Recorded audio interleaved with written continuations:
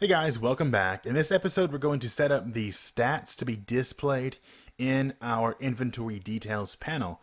So we're just going to have a little a text object here that's going to show all the stats. It's going to be just it's just going to be a string of text. Nothing too complicated for a simple RPG, right? So what I'm going to do first is set up the UI element, and there goes that. That's great.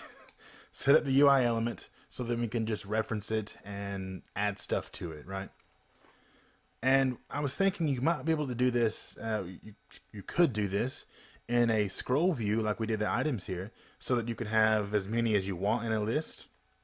But since we already did a scroll view, you can just take what we did then and apply it to now. And I'm just going to keep it simple with just a simple list. So I'm to go ahead and go into my inventory panel. I'm going to go to my inventory details. And in here, I'm going to create, I'm just going to create an image and this image is, I'm going to call it uh, stat list or something like that. And stat list, if I go to it here, I got 2D toggled on so I can work in 2D just fine. And I've got the tool right there selected for sprite work. So I'm going to just align this with our other elements here. Just like that. Our description box is not very big. Guess that's fine though. You can make yours however you want, right? That's the whole point of this. So I'm going to take my stat list and I'm going to, we're going to lower the, the alpha on it a bit. Make it noticeable, but don't want to pop too much because I want the actual stats to pop, right? So I'm going to, and again, this is just all placeholder graphics. You should bring in your your UI stuff, and we may do that in the end. I might get a free pack from somebody and actually fill in some of this stuff with real elements and make it look like a game. That could be fun. but for now, it's going to be simple. So I'm going to add a text element to my stat list. I'm just going to line it up in the top left here. And I'm just going to make it fill the whole thing. And then I want to set it to stretch. And I'm also going to make this one. See, this can stretch. See, how's that going to do if I stretch it all like that? Seems to be good. Our um, hmm, our description is not very happy though. It's set to stretch, but I want to align the anchors to the bottom of it. And also, so do that again.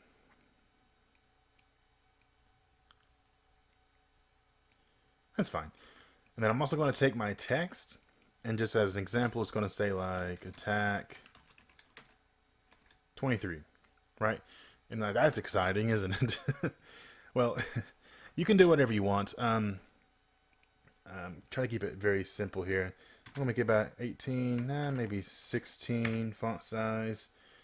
And I'm to make the color just like that. I'm to grab the stat list and I'm to make the, actually I'll make this 10, 10, 10, 10 all around. Just like that. And stat list should be 10 as well. It's not, oop, not on the bottom though. It's not because we just lined it up ourselves, and it just gets it close apparently. So there's that, and that's how it's going to look. Um, and we'll just pile more stats in here as we load them in from the item. So what I could do though, I was just thinking about this, you could actually make this stat list, you can make it into a grid. If I were to show you real quickly how to do that, I know it's not something that I just talked about doing, make it a grid and maybe set this the cell size to be whatever you want the actual size of that display of the stat to be and then make two columns so you can have more in there. Um, whatever you want but you know like I said keeping it simple. So just going to go back to what this was.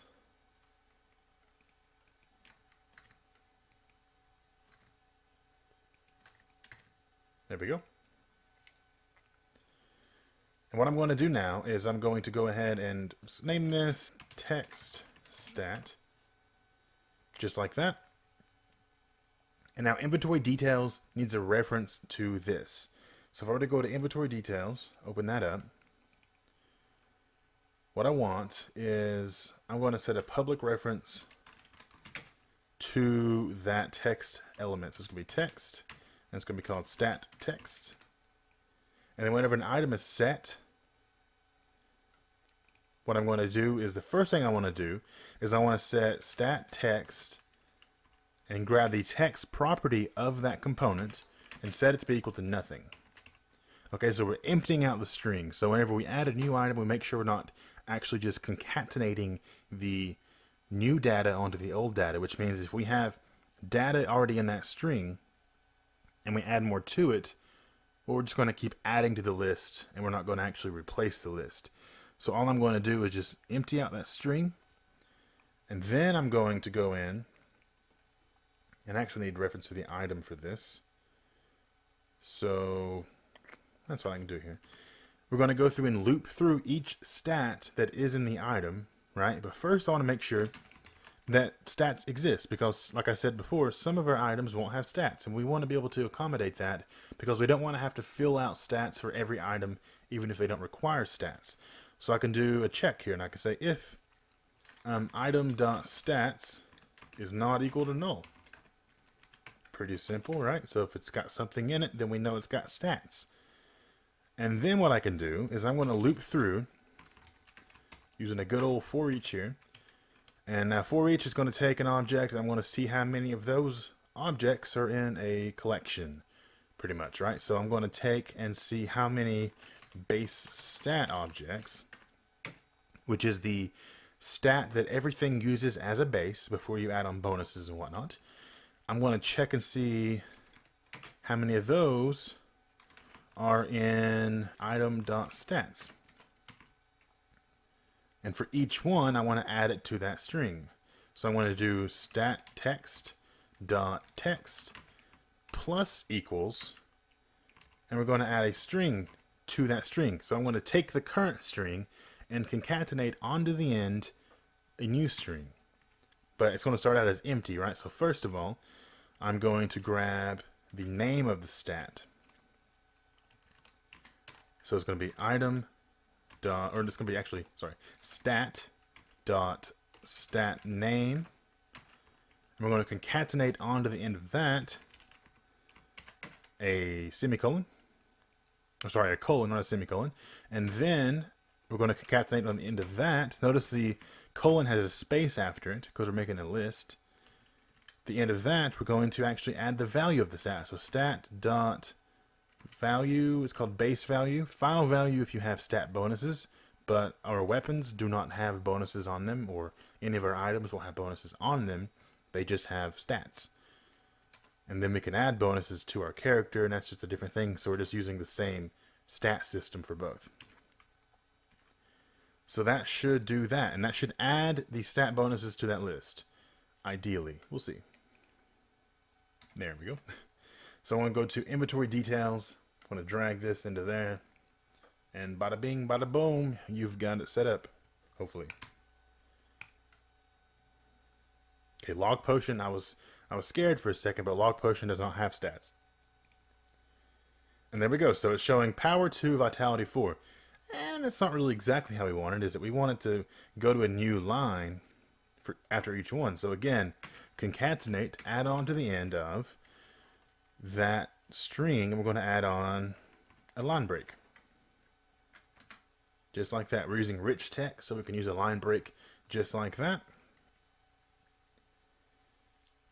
And if I go here and do that, now I've got a list of stats.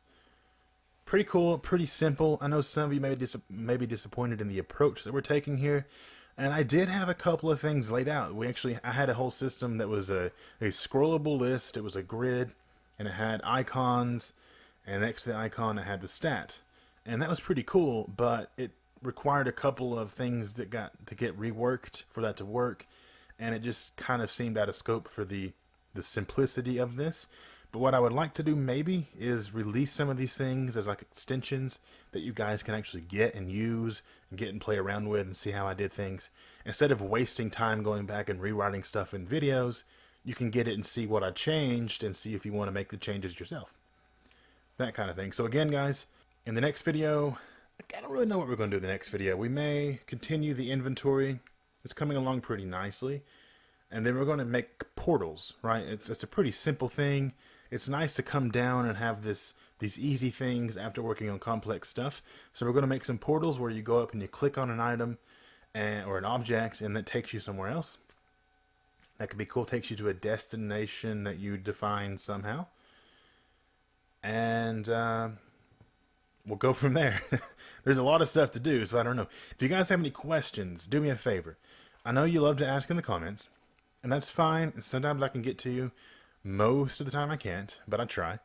If you have any questions, go to gogamegrind.com, and I want you to create an account. And I want you to go to questions and ask your questions here. This is a place that we can have discussion and post code and the discussion really needs to be related to the question, and the answers should be related to the question.